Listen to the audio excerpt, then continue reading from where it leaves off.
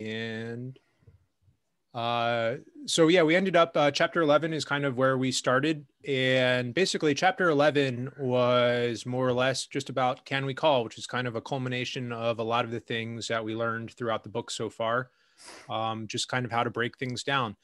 And it was super simple. Um, I'm not going to cover kind of a ton of the, the math in this because that's kind of like the homework that, you know, pot odds we can figure out ourselves. But going through the steps of it, was pretty simple. Um, look at direct pot odds, start considering implied odds, what that may mean if they're even there. Then we figure out our own equity, and then we just kind of compare between the two of them. And uh, I think we've talked about it. I think we're all more fans of the equity percentage kind of method instead of the ratio, where if you just basically have enough equity percentage, it's greater than the odds that you're being offered percentage, and you just you call and go with it. Yep. Um, and I think it kind of breaks down pretty simply into that, even though they cover a variety of different scenarios that are both pre-flop and multi-way and post-flop and stuff like that. Um, which kind of leads a bit more into my uh, discussion questions that I was coming up with.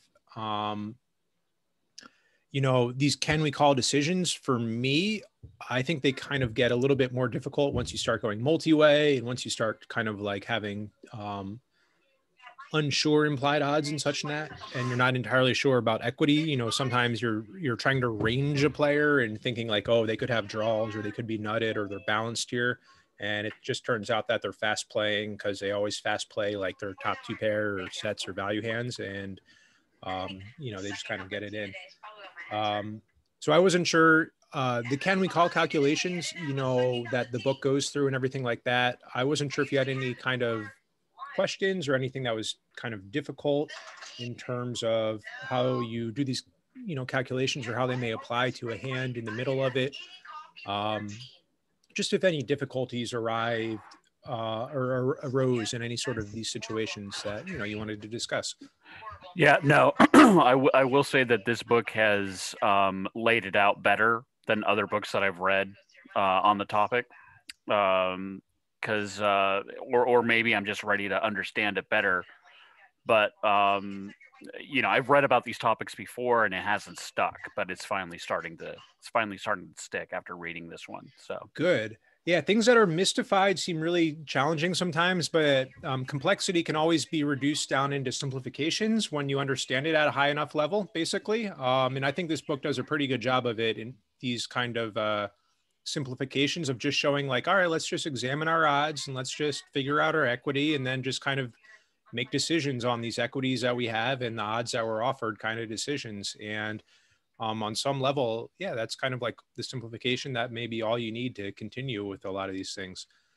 Um, I, I added in one kind of additional question that was more discussionary uh, just basically why are small river raises so frustrating in a can we call scenario? And I was wondering if you'd thought about that and had um, any answers to that.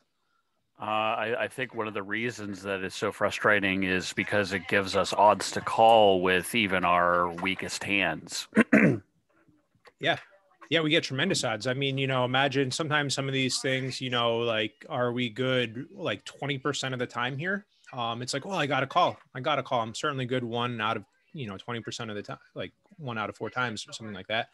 And it just, people don't raise the river um, nearly enough to justify stuff like that.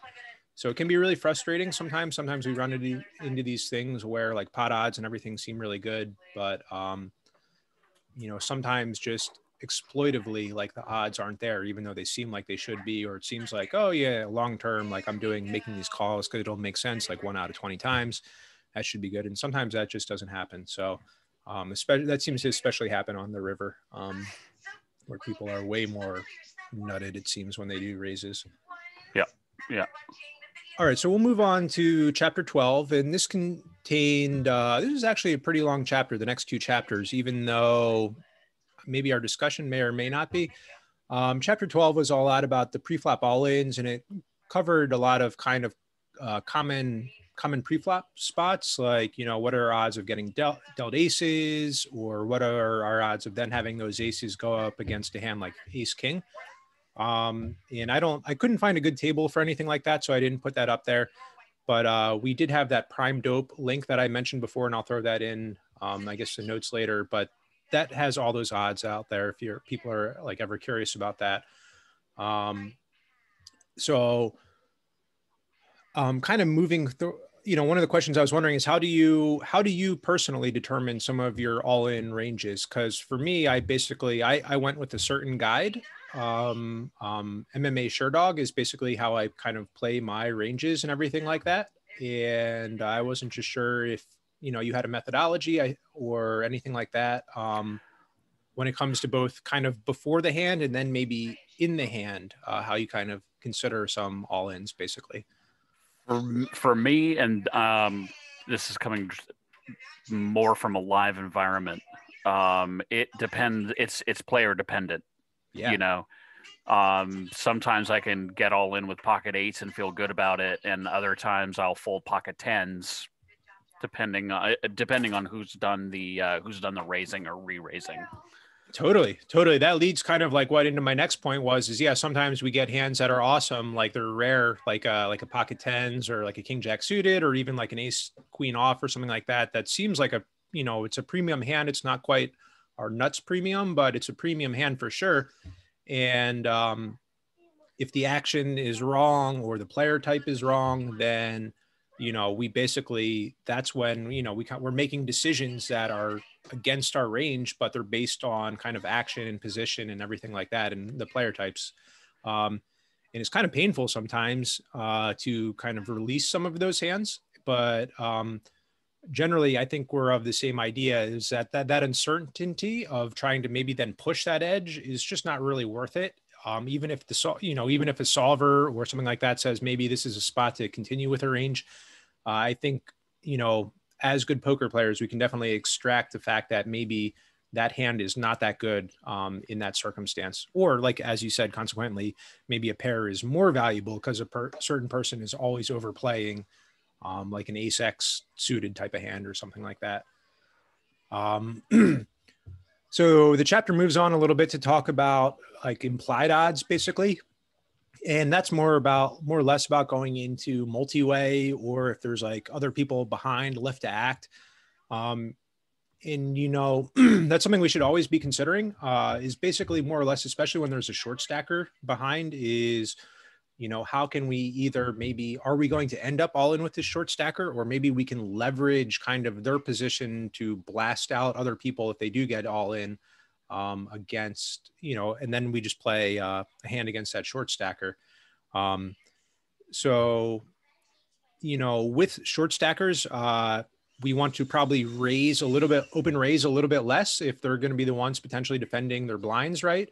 But then uh, if you know we're attacking with three bets and stuff like that other players um, we can leverage a bit more advantage and our range looks a little bit stronger. Say we're opening up a three bet against an early position raise and we're in late position and there's a short stacker blind left to act that early position raise has to then consider oh well this guy's also raising to a threshold where he may be all in against this blind. So maybe he already has a really strong hand so there's a little bit of like fun nuance in there where we can kind of use short stackers um, against other players in our range construction. And we also just have to be maybe they diminish our ability to open in some of these circumstances or to play back about certain things like um, we'll talk more about uh, sets in the next chapter, but certainly sets kind of like diminish if we're calling for set value and maybe a short stacker comes along or a short stacker is a raiser that it's just not like the implied odds aren't really there.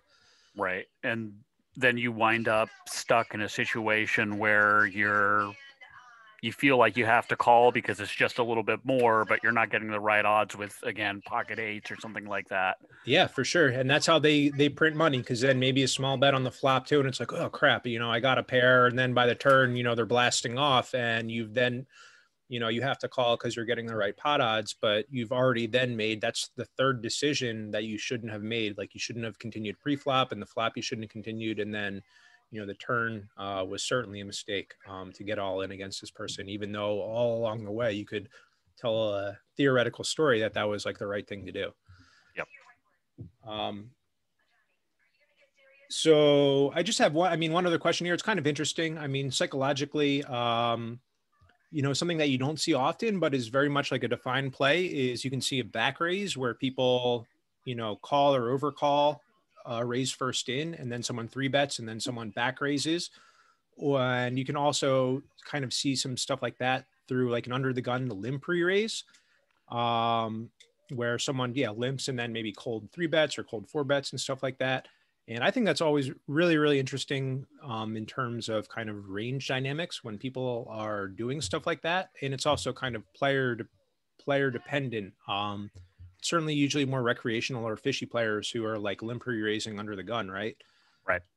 Um, and so I just wasn't sure if you had any thoughts on those kind of pre-flop all-in spots. It doesn't happen that often, and we don't kind of uh, experience them all the time. But I, it's definitely kind of unique ranges uh, when we see when we come into those spots. Yeah, it's my uh, my particular game is really weird because the minimum buy-in is 33 big blinds at, at okay. my live uh, live setting, but the maximum buy-in is I think 200. Oh wow.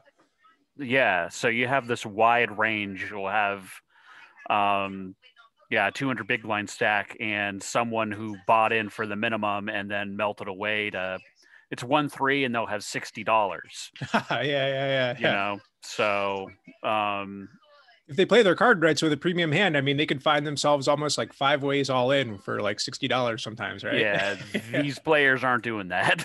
yeah, yeah, no, they're they're they're they're short stacked. They're still calling with Jack nine off, and then folding on the flop and then you know whittling down and then you're kind of yeah you're kind of stuck in these situations where they're going all in and you have to decide is king queen good enough right now? Is pocket eights good enough right now? King jack right?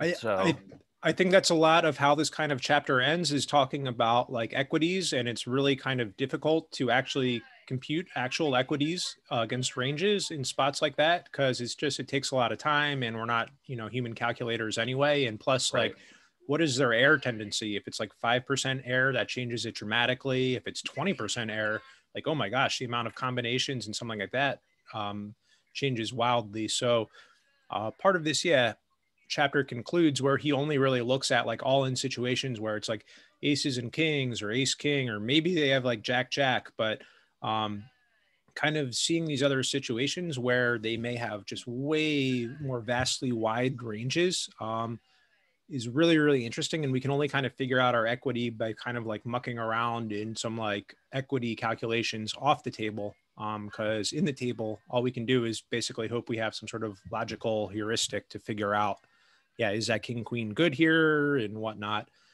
um, it's certainly a lot different than tournament players where like once you get sub 30 BBs or 20 BBs, like everyone has their push fold charts and everyone's kind of like just almost playing completely robotically at that point too, um, yeah. in terms of push fold. So cash is like very interesting in that regard um, and how like full stacks re- relate um, to small stacks.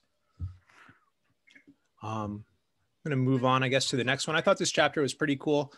Uh, chapter 13 was about sets and stealing and three bet bluffing. Um, and so, yeah, it just talks about the um, basic, like, you know, set mining is introduction to the topic. And it's just, uh, you know, it's a really, really important thing because set mining is one of the most valuable things you can do in poker. Um, in terms of adding in EV, uh, especially if you're playing against like player pools where people are just like super prone to stack off when you hit the sets and everything like that. Yep. But it can also be extremely, extremely uh, painful to see how often you call pre-flop and then don't hit a set and then you're just giving away maybe even like a flop float to a C bet or everything like that. Um, so the author goes into uh, some rules basically. You know, it's more or less like seven and a half to one or eight to one to hit a set. But uh, Alton's um, consideration is that you should really kind of trying to be hoping that you're going to get 15 to one in a payback whenever you're considering calling with uh, some of these smaller pairs for set mining, um, which makes a lot of sense. It's not always easy to do, but um, you need to have a minimum of at least kind of like eight to one payback. Um, and it's more ideal to get 15 to one. Um, I don't think you, as we get more advanced with uh, in poker and everything like that, you know, pocket pairs aren't just like sets or nothing, uh, basically. So we can kind of just start extracting more value from playing them well, right, as part of our range. Um, so that was kind of one of the questions that I'll just lead into, like what uh, value do pocket pairs have other than set mining, and how could they potentially be more valuable? Um, and that's just you know pocket pairs by their nature are very depolarized, right? They already have some showdown value. You have a pair right from the flop, so against a person who's either not going to apply a lot of pressure and you're going to get to showdown cheaply, uh, that can be like that can be great, right? or if the person um, you're playing against is extremely aggressive and has a very wide range um, and may try to bluff you off stuff that's you know uh, more challenging but uh, at least you already you can always beat a bluff essentially if you have yeah. um, a pocket pair um, so you know we as we look into the future it's not just set mining we'll have these pocket pairs and we'll have to do other things with them to get back some of that investment um, that we put in because we can't just collect through um, just hoping to set mine, even though that is like that is like the nature of those hands and the best way to play them. Yeah, um, I sometimes like to be able to play them in position, uh, like literally on the button in a multi-way pot, because sometimes, uh, again, my live setting, lots of multi-way pots. Um, if you play it right, uh, checks through flop, checks through turn, you can still throw out a bet and take it down, even even if um, you're you don't think your pocket threes are actually going to be good you know if the board looks straighty or or and but you get the feeling that no one has interest in it it's easy to steal with those those small pocket pairs. Totally that, that's one of, that's really good that you mentioned that. That is uh, pocket pairs are tremendously good for kind of doing those plays or like turning them into some sort of polarization later on because right. they don't really block any of the board that you're hoping other people fold. Like no one else is, you know, you're not trying to fold out like three two when you have threes. Like that's just not even a big part of it. Um, and then you know it just kind of like meshes in well and disguises a bit of your range that you're not always like semi bluffing or bluffing you're not always betting with it. You could just have like these other small combinations um, that could then if they hit are they're super disguised. Like if you turn a two out to yep. the set that's amazing. Um, yep. and plus yeah i mean you know just denying other people their equity share because um, it's always overcards to you know a small pocket pair right?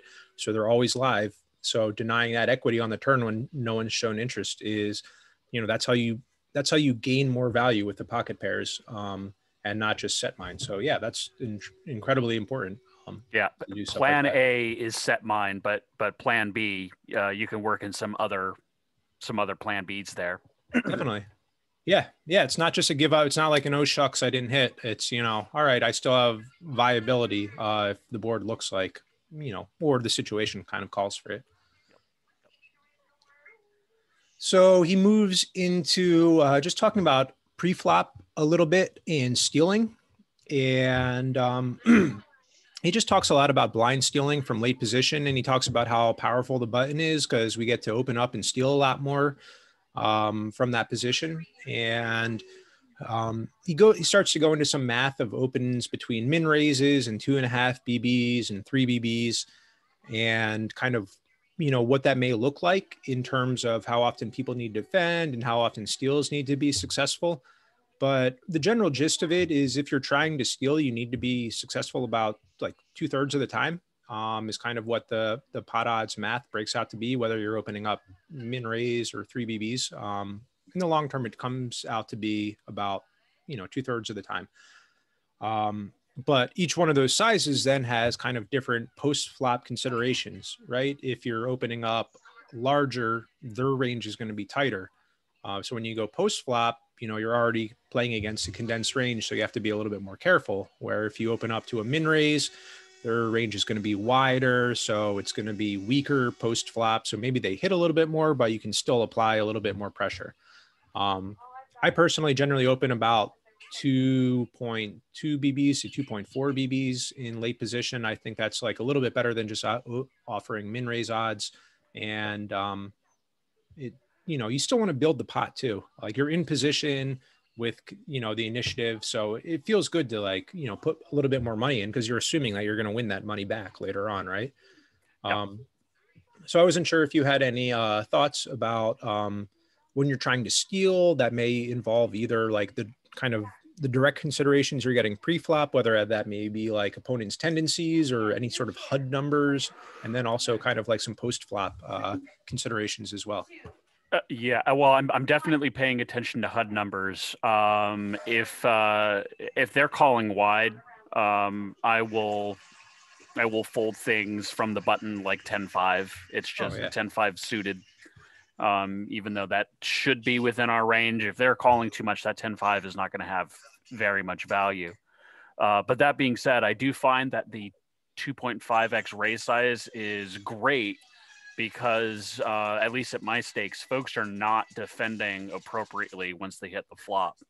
So um, that 2.5x gives them the incentive to call um, with weaker hands and then wind up folding on the flop. So you actually get a little bit more money than Heck yeah. just stealing the blinds. Yeah, which should I mean one out, but you know whatever. How often it actually happens? Like one out of six orbits, you have the button and everything like that, which may be an open chance to steal. So that extra half a BB or whatever, like that, eventually, like in the thousands of hands of poker that you play, turns out to be a significant chunk of actual additional money um, that yep. you make. So, um, we have to start optimizing and thinking about stuff like that. And like it's really good that you're on that path because yeah it, it's super important.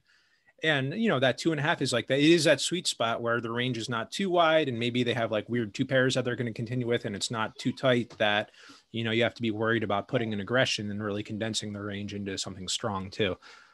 Um so Uh, he goes into three bets after talking about stealing, and basically the idea of three bets is kind of pretty straightforward on some level, even though it's not at all. Uh, you can either three bet linearly, like kind of top down, a condensed range, like all value, or you can three bet polarized, um, which is you know a lot of premium and then like a lot of suited connectors or like you know nut flush draws kind of stuff to go with that. Um, so part of that is you know villain dependent. Um, maybe we want to put more linear stuff in or polar stuff against people who potentially overfold or overcall uh, there's definitely always kind of considerations along those lines. And then kind of uh, part of it is actually positional too. Like i've been told and i don't know i forget the actual reasoning why but i only kind of three bet uh, depolarized from the small blind.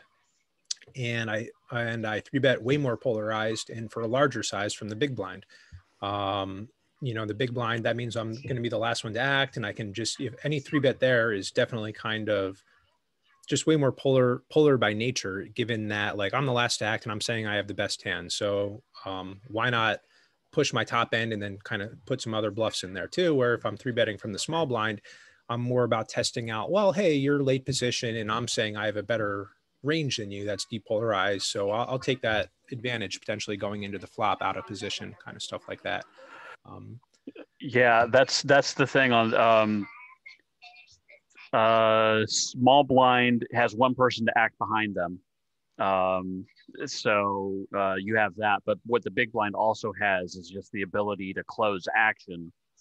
Um, and uh, so when they are re-raising, instead of closing action, they can signal a stronger hand. Whereas the small blind, by them just calling, they, they don't have that option to just close action. They've got the big blind behind them that can then do a squeeze or um, like that's definitely why you have to go linear from the uh, from the small blind.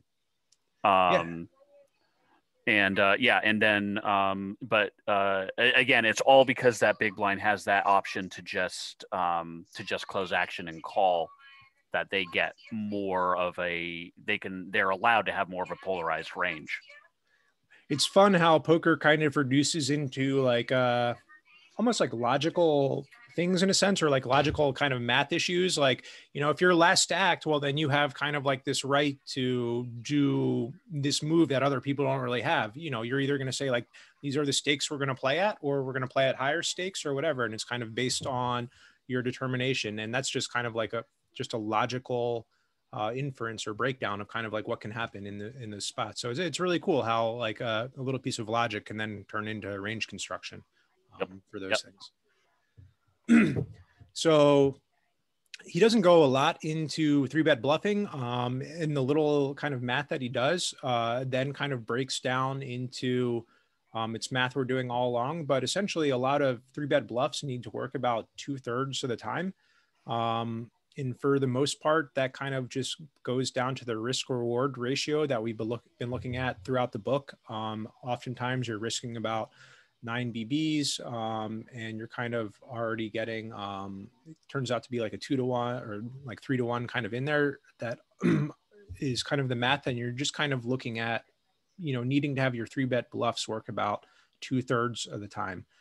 Um, and he still doesn't really advocate for a strong kind of just go with it bluff range. Uh, he's definitely wants you to consider more uh, linear polar, but um, the application of fold equity is highly encouraged uh, pre-flop just because it removes the ability to the pot get raked. Um, is one of the main things is right. you get uh, the chance to win that before the pot is raked. So there's a huge incentive that shifts the uh, kind of pot odds um, to win pre-flop before the pot is raked um, when you are bluffing or semi-bluffing pre-flop.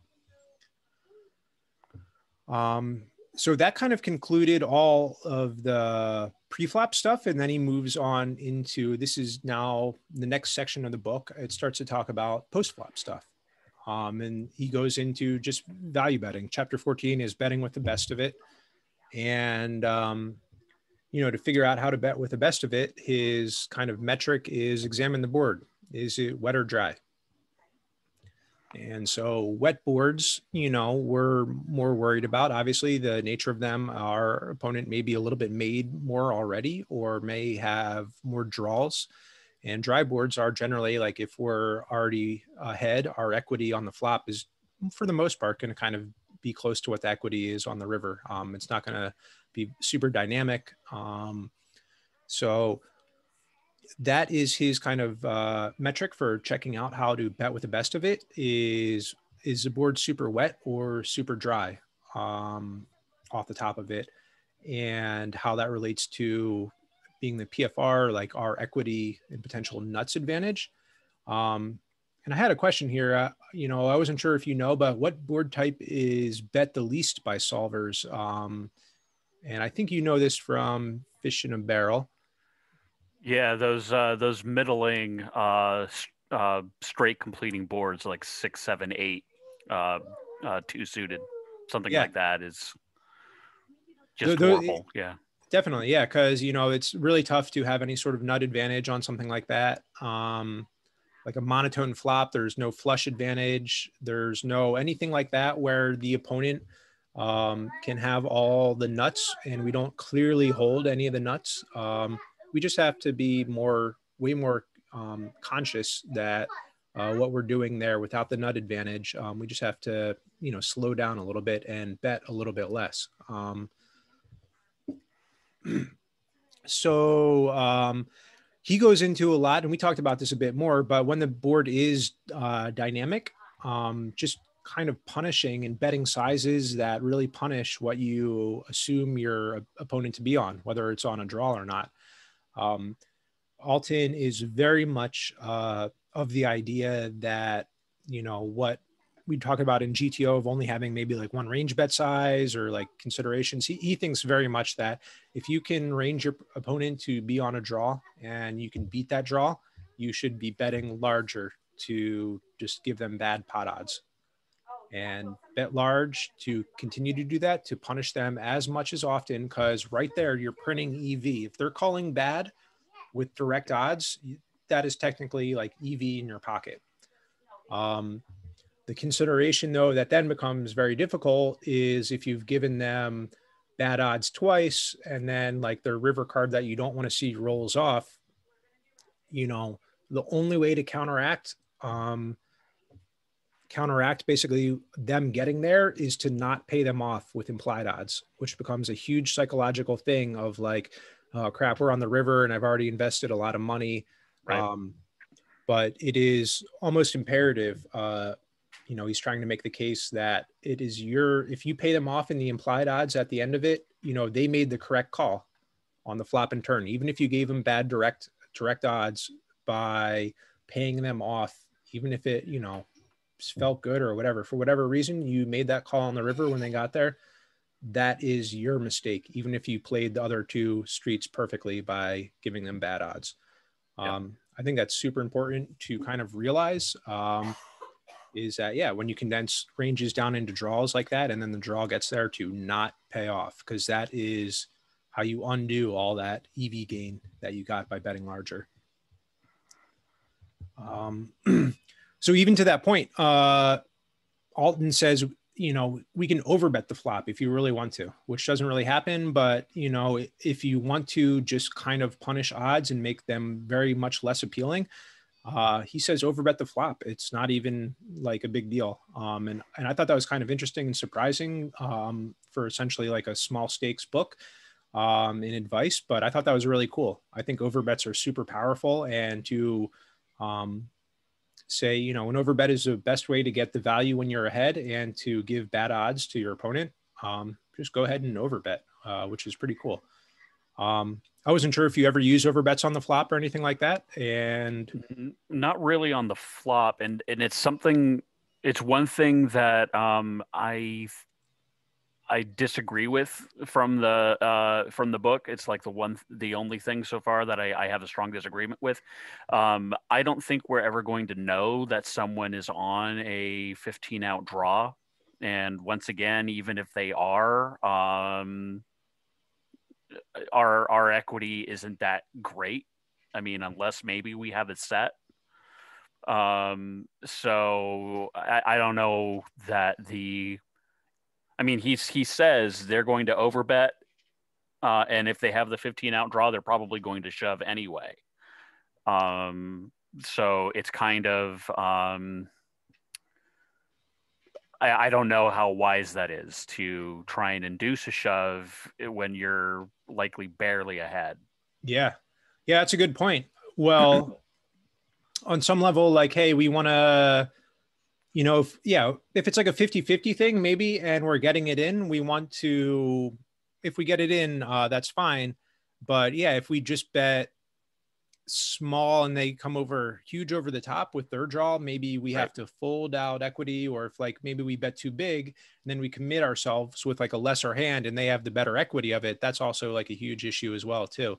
Right. Um, I personally don't really overbet the flop. At, well, I, I I can't say that's totally true, but I generally overbet the flop. I look for these spots when it's a three bet or four bet flop, and I have a hand like Ace hmm. King and I could be drawing to on like a queen 10 export or something like that, where I can put on a lot of pressure to be what I presume their lower pairs that may be ahead of me while also having like draw equity and draws to top pair, top kicker and stuff like that.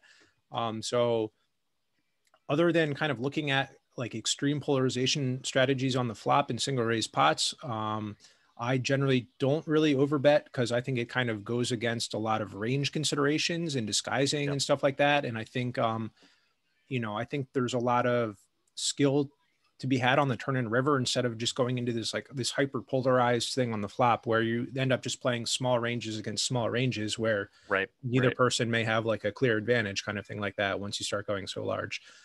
Um, so I thought it was cool that he mentioned that, but also, yeah, in terms of you know, kind of micro SSNL, like I don't, I don't know how super valuable that is to implement, other than just being aware that, you know, no one in poker says you have to bet pot or less. It could always be more um, if you want, if you feel the circumstance calls for it. It's, it's honestly, it's something I'm, I'm continually thinking about live poker because I'm hoping to be back there in a couple of weeks. But at, at my tables, that overbet is probably going to get called, even without the 15 out draw.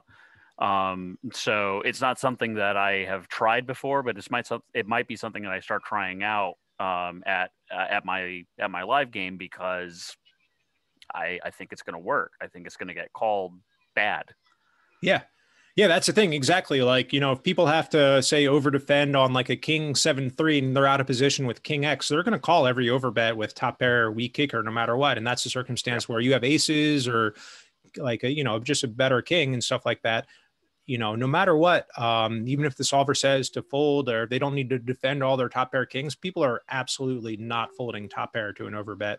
So you get more money in quickly while your hand's good, and you get, you know, you're reduced to stack to pot ratio, so you can make more money off them later. Um, and you know that all feels really good as opposed to just going like a third and then like oh crap you know I, how do i get more value on the turn and you have to start right. betting bigger later and everything like that um, so yeah i think live poker could be really great for that through the lens of like how do i get a lot of value um, yep.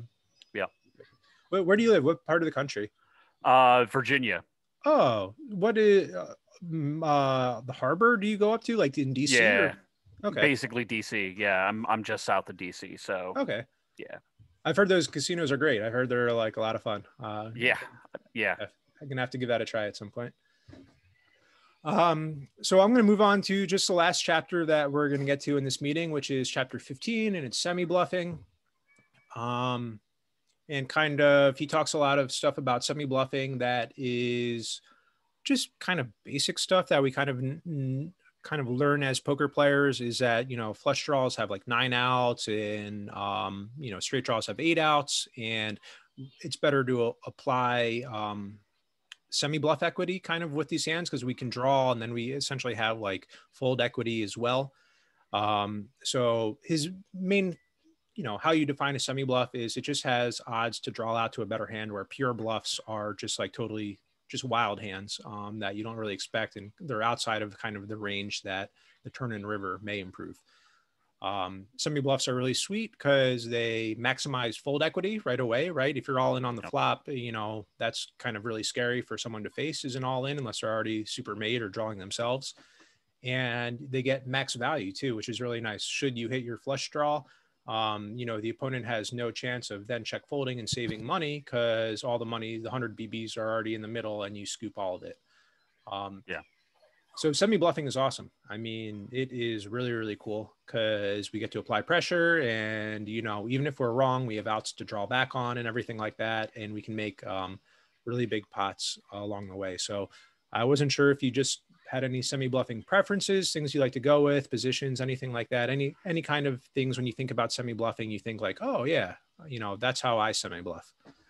Um, reading this chapter was good for me because um, it uh, it helped break some of my feelings. Like I feel my semi bluffs don't work. I'll shove with the um, you know uh, nut flush draw, and then I don't get there. Yeah. Um, right. But but like this is kind of saying that um, if you do it often enough, um, when you do get there, you're you're getting paid. Oh, for sure. Uh, the the odds work out. Yeah. yeah. Yeah, think about you know just think about casino empires built on like a one percent edge in like you know blackjack yep. or like giving back like ninety nine percent in slots, kind of stuff like that. If we can find these semi bluffing things where you know we're already have like near 50% equity and then we can just push a little bit of fold equity onto stuff like that. Yeah. Oh my gosh we are we're not going to win every time for sure. Like you know that naked nut flush draw may have 12 outs and you know that's super close and everything like that. Um, but you know if we routinely get that in they're gonna they're gonna fold more and we're gonna hit more often that we can build our own empire kind of through semi bluffs. Yep. and of course what's the other thing about it? It gives us balance to um, the rest of the range, right? So we, we can have definitely sets and we do the same thing. Yeah. Yeah. So we can just crush it kind of um, at the end. So that's how we gain kind of like max fold equity and max value um, for a lot of part of our ranges and for those like uh, specific semi bluff type hands. Um, and that was kind of uh, really that's kind of like where I got to with this uh, week's book club. Um, you know i didn't i haven't really covered a lot of math examples. I thought the book was good for that. And that's yeah. kind of just like i didn't want to rehash just like adding and subtracting and dividing and everything like that. I was just trying to make it more kind of um, how we implement some of these maths into more like discussion spots or how like actually math can apply to us in poker when we're dealing with ranges and positions and other player types. So um, that's kind of just what i had. I wasn't sure if you had any other questions uh, through these chapters or anything you'd like to discuss yeah, no, not so far. I mean, I think I discussed everything that that came to mind for sure. So awesome. I'm glad to hear that. Uh, are you done now at this point, or or with the book, or uh, are you about where I was? Because Um, I wasn't sure. Like next for the next week, we'll certainly finish the remaining. Uh, I think it turns out to be like three chapters of content, basically. Yeah, not done yet. Uh, I am a little bit further. Uh, I just started um, the final section. What EV and um, I can't remember the title of it, but yeah, I, I just started the, the the you know the final. Um, yeah, just the final section. Yeah, EV, uh, EV calculations and combinatorics is what it goes it. into. Yeah, yeah. Cool. I, I barely started it. I got like uh, one page in. So All right, awesome. Yeah, we do uh, a little bit of bluffs and then EV and then combinatorics for the next one, and um, we'll just kind of wrap it up with that. So Yeah. Thanks for being here. I appreciate it. yep, no problem. And uh, cool. I'll see you. Uh, I'll see you in the Slack group. Yep, sure thing. All right. Cool. All right. Yep. Enjoy. Thank you.